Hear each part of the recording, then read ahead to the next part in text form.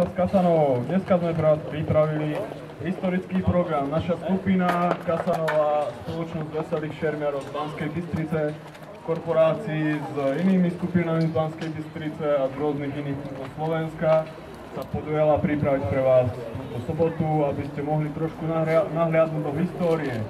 Ako vidíte, je tu malá ukážka historického tábora, ktorý si môžete po vystúpení alebo aj pred vystúpením pozrieť, pravda, že Prvý stan je tzv. gotický stan, európsky, druhý stan, turecký stan. V každom stane sa nachádzajú rôzne rekvizity, ktoré si môžete pravda, že aj oťahať na vlastné, na vlastné ruky.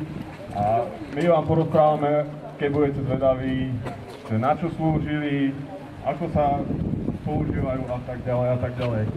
Potom vidíte ďalej historickú ku- kuchyňu, môžete si spraviť vlastnú historickú palacinku, namlieť si žarnové múku a potom upiec na ohni, ktorí budú hladní. E, celý program dneska začína o 13.15 výstrom z dela.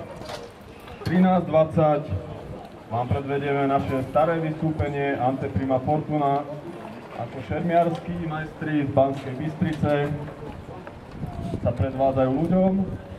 O 15. hodine uvidíte živý šach podaní Kasanovi a to šachovú partiu medzi bystrickým richtárom a tureckým begom.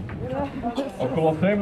hodiny uh, môžete zhľadnúť náš nový program Instrumentális Aquamobile, kde predvedieme, čo sa dá spraviť z tohto historického voza a budete určite prekvapení. Takže za 5 minút začíname. Ďakujem. 嗯，好的。好的。